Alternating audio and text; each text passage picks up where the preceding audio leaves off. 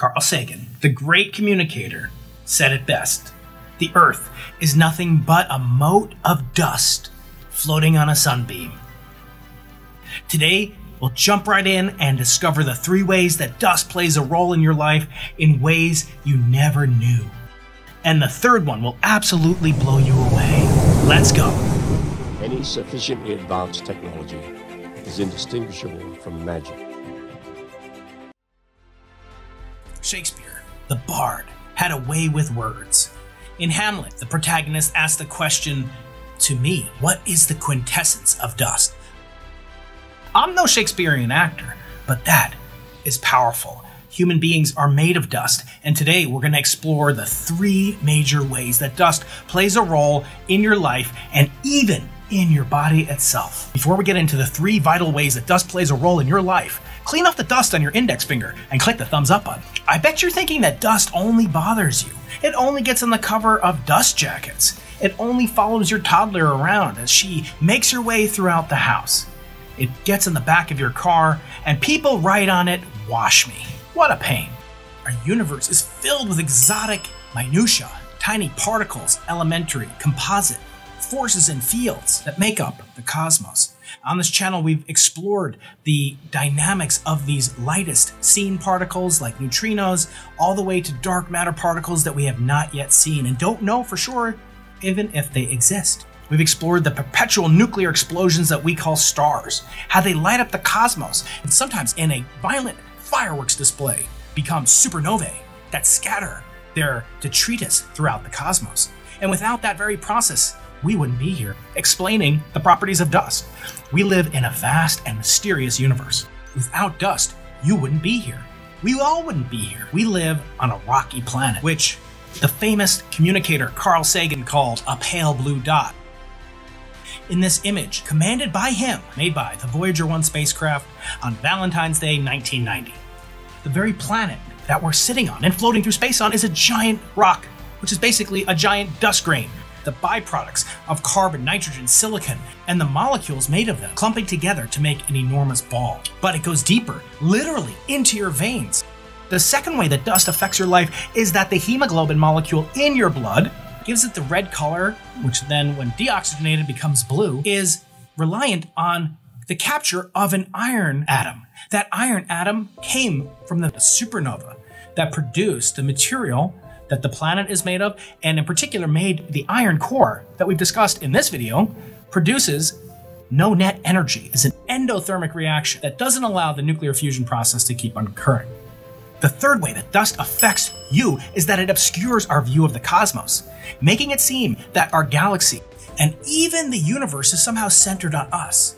We've explored that in the Great Debate videos, and it may play a role in the eventual ability or inability of cosmologists like my colleagues in the Simons Observatory, it may limit our ability to glimpse the very aftershocks of the Big Bang itself, which we call the inflationary universe.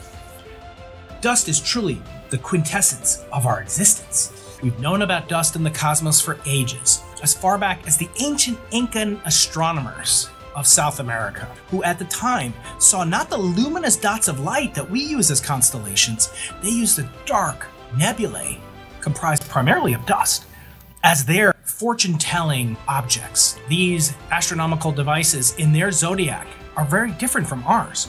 You have features like a rat a camel, a llama, and even my favorite zodiac sign, the umbilicus of the llama. What's your sign? And they weren't far off in ascribing lifelike properties to the dark, dusty globules. And that's because dust is the substance of which our cosmos is formed.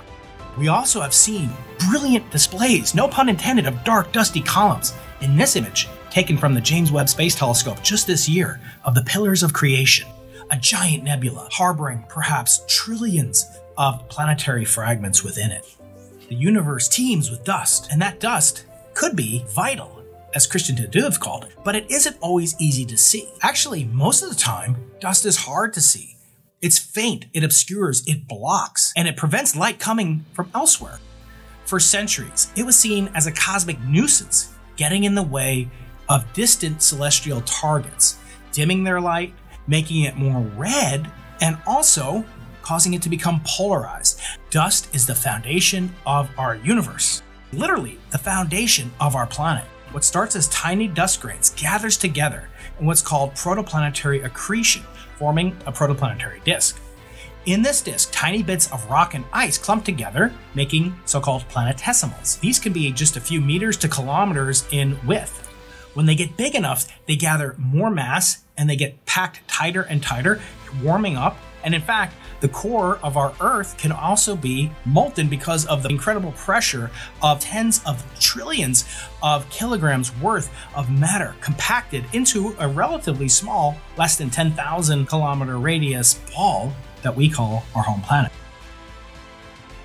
There are at least as many planets in the Milky Way as there are stars.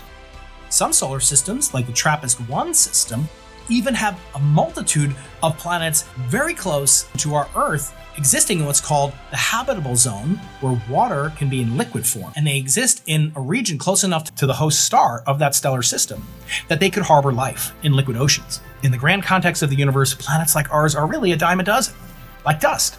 But again, just like dust, that doesn't make it insignificant. Until recently, cosmic dust was nothing more than a cosmic dirty windshield, obscuring and blocking our view of the stars. But it's always been a chimerical challenge for astronomers to deal with.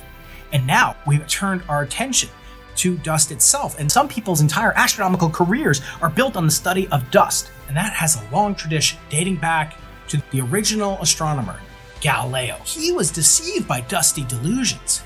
He saw the Pleiades asterism as a cloud that was actually, in his mind, comprised of innumerable stars. He convinced himself that if he had a big enough telescope, he could resolve those cloudy, blurry blotches into individual resolved stars. But he can't, because that is a reflection nebula that surrounds the Pleiades. As shown here, the star Merope in the lower left quadrant of the Pleiades as you view it on the sky, is a reflection nebula comprised primarily of carbon nanoparticles that act like little mirrors. And by studying the spectrum of the dust, comparing it to the host star, the star nearby, Merope, astronomers saw that they had exactly the same spectral behavior. The dust was acting like little mirrors, merely just reflecting the light from the star, not producing light, and not behaving like little stars themselves either. A century or so later, William Herschel and his sister Caroline identified the disc like shape of our galaxy using dust and thanks to how easily it can block what's behind it, he was duped into thinking our sun was actually near the center of the galaxy.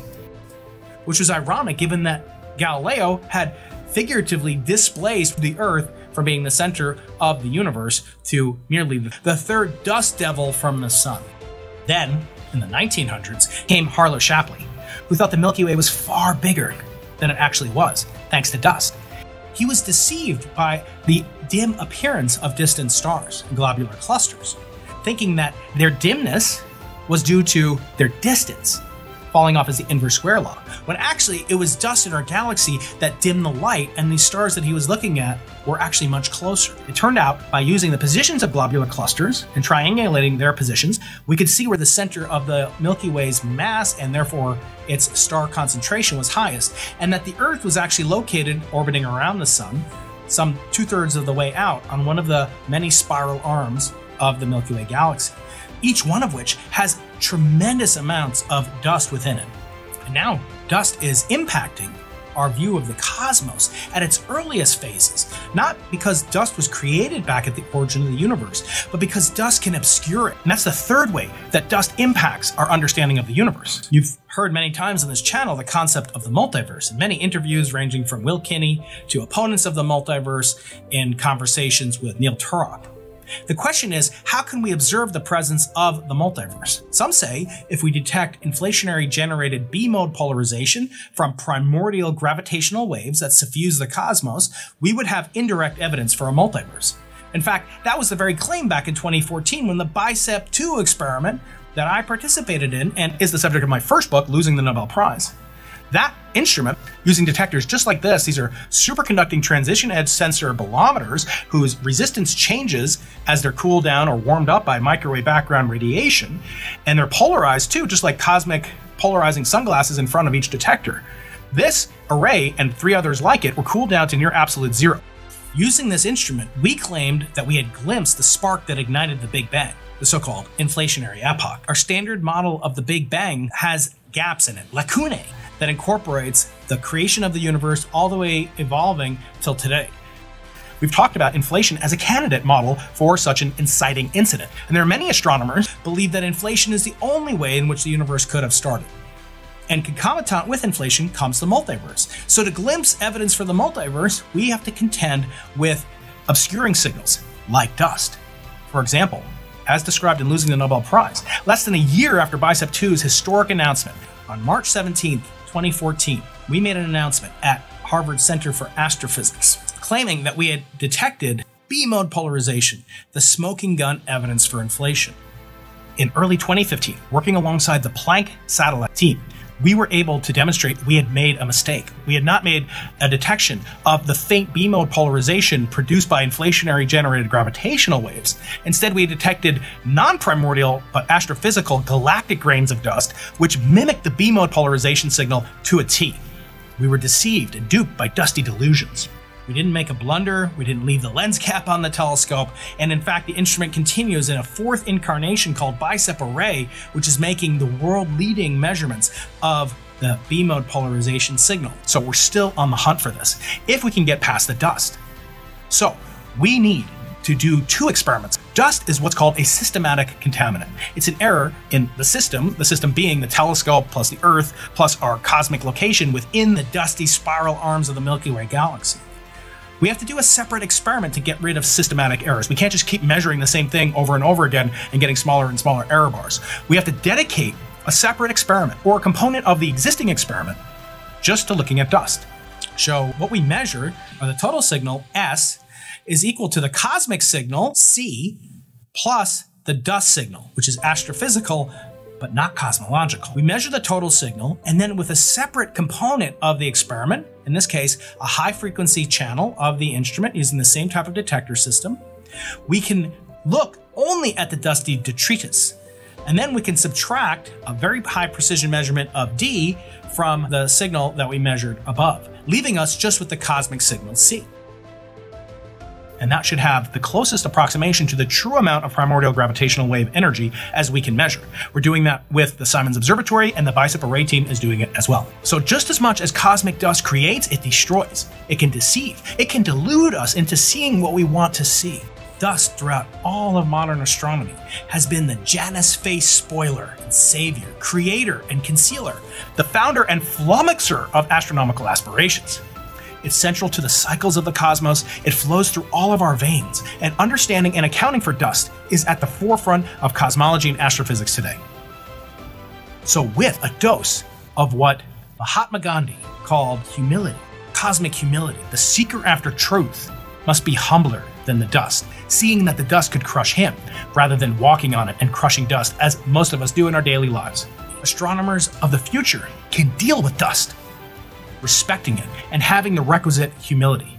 If you'd like to learn more about the cutting edge search for inflation, click here, and I'll see you in the next video.